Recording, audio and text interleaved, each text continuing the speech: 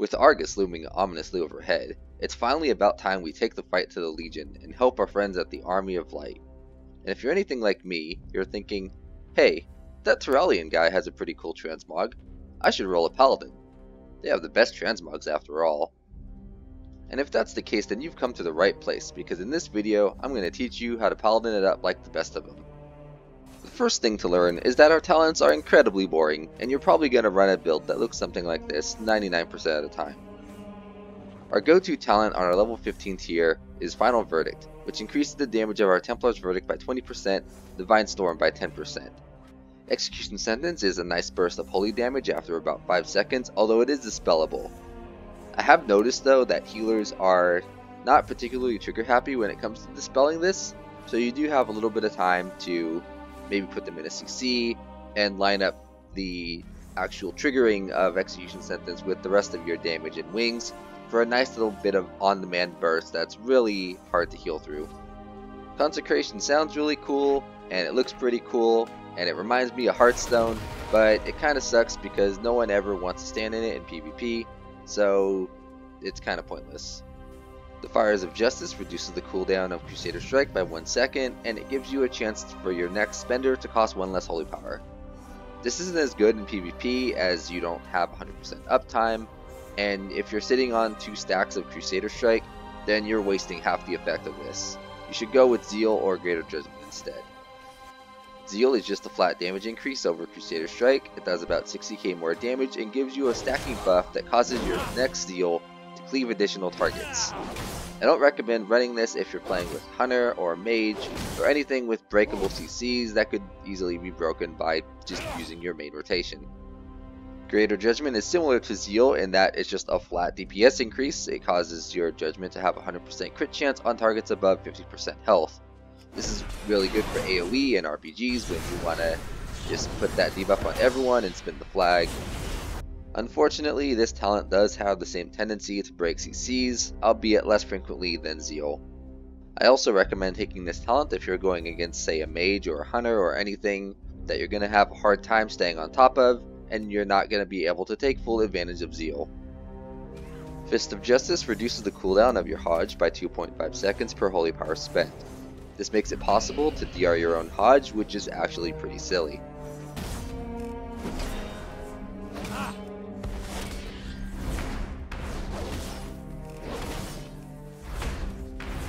Bam, a DR'd Hodge. Repentance and Blinding Light are both pretty bad, although they're even worse when you consider how good Fist of Justice is. For a level 60 tier, we're going to want to go with Blade of Wrath most of the time. The proc on Blade of Wrath is pretty ridiculous, like it could proc right away at the start of a fight and you just instantly have 4 holy power, you zeal, you have 5, you go into your spender rotation, it's silly. When all the stars align, Virtue's Blade can actually hit for a ridiculous amount of damage, and I would actually recommend this if you're going against a team where you're being kited all the time and you're not able to auto attack to benefit from Blade of Wrath, as the damage it does is pretty ridiculous. Divine Hammer was recently nerfed, however it is still a DPS increase on 2 or more targets. You could still run this talent in AoE to do a truly godly amount of damage. This talent is also really nice for base sitting as it has 100% uptime and there's no visual buff to indicate when the buff is about to fall off. Say if you're waiting for a rogue to come up and sap you or a druid, you could just stand on the flag with your divine hammer and the radius of the effect is actually much larger than the visual animation would uh, uh, would suggest. I can't tell you how many times I've gotten rogues and druids and anyone stealth really out of stealth, and it's just amazing. For a level 75 tier, we're going to want to go with Justicar's Vengeance as it synergizes really well with Divine Purpose and gives you a good amount of sustained healing and it also does about as much damage as a Templar's Verdict. It does slightly less damage if you are spec into Final Verdict. It does about the same if you're spec into anything else. A quick note I forgot to mention about JV is that if you use it on a stun target, it does double damage. However, that's baseline. It could still crit on top of that and do an additional double damage, which is four times as much damage as it would have originally done on a non-stun target. This could very quickly equal ridiculous amounts of damage if the stars align. The 35% physical damage reduction on Eye for an Eye is good against melee cleaves for obvious reasons, and the 150k retaliatory damage is pretty good too. However, if there's any kind of spell damage and it's not just all melee, you should probably stick with Justicar's Vengeance. With my PvP template active on this dummy here, Word of Glory heals for about 300k, which is about the same as my Justicar's Vengeance. However, Justicar's Vengeance does not have a cooldown, so that pretty much makes it better than Word of Glory. The only difference being this is 3 holy power and does no damage, and this is 5 holy power and does about as much damage as a Templar's Verdict. You could think of Justicar's Vengeance as actually being a Templar's Verdict for 3 holy power and a Word of Glory for 3 holy power combined into one convenient global that actually saves you holy power. For a level 90 talent, you can't go wrong with Divine Intervention, as it has a 20% heal, cheat death mechanic, automatically procs bubble, and reduces the cooldown of bubble to 4 minutes from 5 minutes. By far the biggest weakness of the Ret Paladin is still mobility. However, if you try to remedy this by specking into Cavalier, be prepared to be disappointed. The 45 second cooldown on Divine Steed means that if you actually want to use both charges, you're going to have to wait a full minute and a half before you're able to use the second charge again. Which means you might as well just spec Divine Intervention and keep the one pony for practically the same amount of mobility. Judgment of Light is an apparent copy-paste job from Wrath of the Lich King, back when we actually had like three different judgments. Unfortunately, it looks like Blizzard forgot to buff the Wrath era numbers, as the measly 5000 healing it generates fails to keep up with Legion era health pools that could easily reach 5 million. Divine Purpose is our go-to level 100 talent. As previously mentioned, it synergizes really well with Justicar's Vengeance for spammable damage and healing. Crusade will do more damage than your regular wings after a few seconds of build-up. However, when people see you descend from the heavens in your usual Angel of Death style, they're prone to pop defensive cooldowns or CC or just run away, and you're really unable to get the surprise effect of just hitting wings and doing an instant 35% more damage before they pop all their defensives and run away. Holy Wrath was nerfed into the ground quite a long time ago, and it hasn't really been viable ever since. For our PvP talents, you generally can't go wrong with Gladiator's Medallion, it's your default trinket.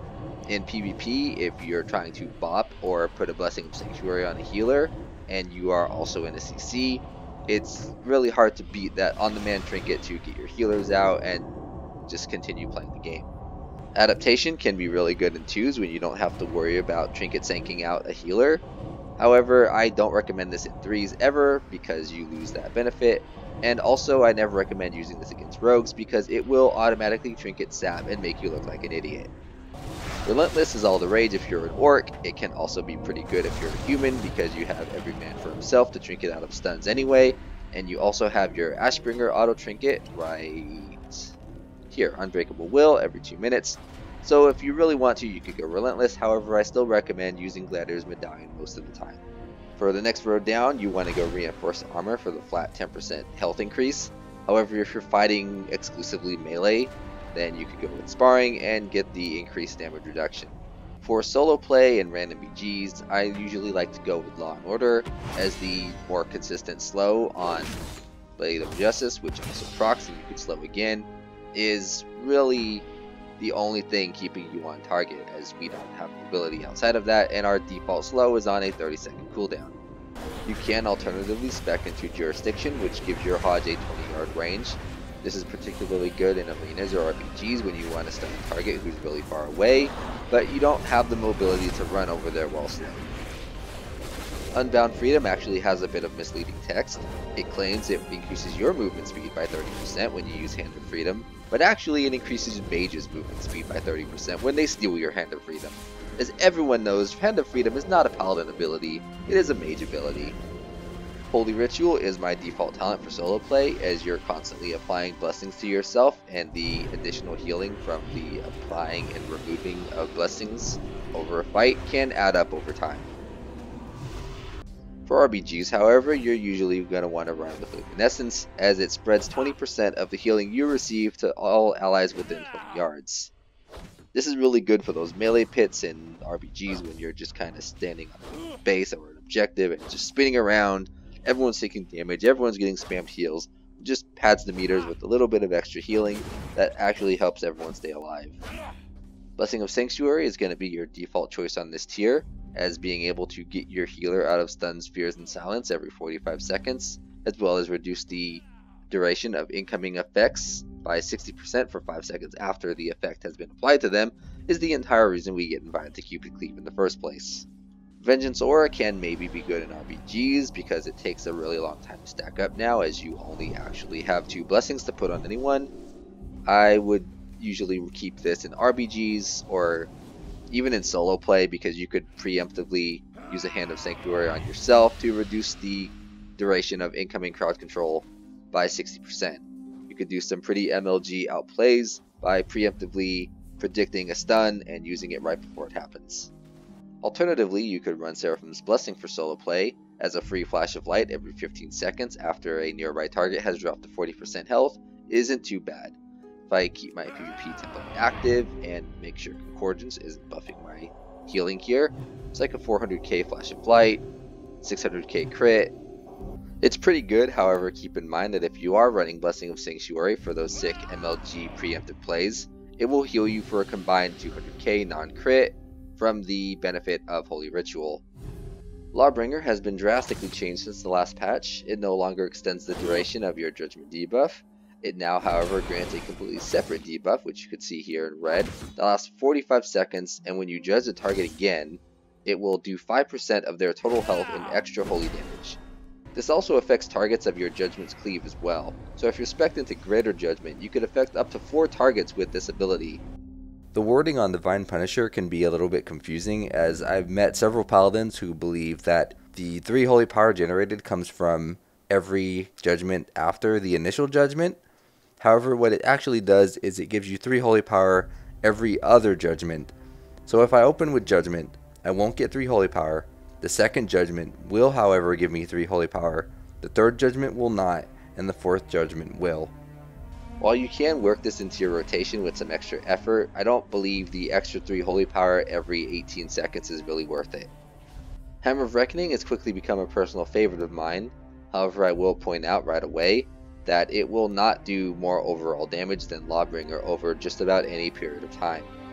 6 seconds of wings just so happens to be the perfect amount of time to kill someone in a Hodge, or at the very least force some defensives out of them. The 1 minute cooldown lines up well with Wake of Ashes and Hammer of Justice, and I'm sure many of you have hard switched to a healer in the past with your actual wings and just killed them in a stun. This lets you do that more frequently, and it has an insane amount of kill potential. Fake wings, try and get some cooldowns. I don't think he has any. Like, yeah, he, he just used Divine Purpose. Or Divine Protection. Kicked him. Oh, okay.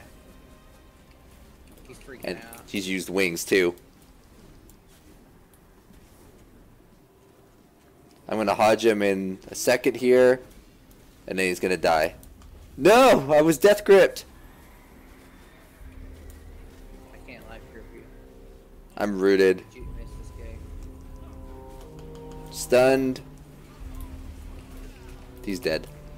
Another interesting thing you could do with Hammer of Reckoning if you're also spec'd into Crusade is at the very end of Crusade, when it's about to fall off, you use Hammer of Reckoning and all the stacks you've built up from your actual crusade will transfer over to the 12 seconds of your Hammer of Reckoning crusade. A popular misconception I've seen throughout Legion has been the role of Judgment in our rotation. I see a lot of people thinking we're supposed to build up 5 Holy Power first, then Judgment, and then spend as much Holy Power as possible during a short window of time. However, this is the completely wrong way of looking at it, because it's not up for a short window of time. It's up closer to 90% of the time. What you should actually be doing is judging right away and keeping judgment rolling on cooldown. As you build up to 5 holy power, there'll be a point on your 4th and 5th holy power where you'll be able to see if judgment is going to fall off or not. If you cannot make it to 5 holy power before judgment falls off, go ahead and use the spender early. That way, for the 1 second of downtime when judgment is off, you are building holy power and you don't have to worry about spending during the time that judgment is not on the target. For this example, I'm going to be using the PvP training dummy as it activates my PvP template for normalized stats. Have 920 item level, so your haste will differ slightly depending on what your item level is, but right now, my judgment has about 1.19 seconds of downtime. That's less than a global. Right away, I'm going to Wings and Wake of Ashes, apply Judgment, use a Spender, got a Blade of Justice proc, Spender, Zeal, Blade of Justice proc, Spender. See, I could have reached 5 Holy Power right there, but if I did, the Judgment debuff would have fallen off, and I would have used the Spender without the debuff on the target. Instead, I used the Spender at 4 Holy Power, and continued to do my rotation there. I hope you guys found this video informative. I do plan on releasing a separate macro guide alongside this video if you're interested in that. On top of that, I have a sequel to Crusader 7 Act 4 coming out in just a couple of days. So if you're interested in a hour long PvP Machinima hybrid ridiculous epic, you should subscribe and watch that. And looks like my dance macro stopped working, so I should go now. Bye.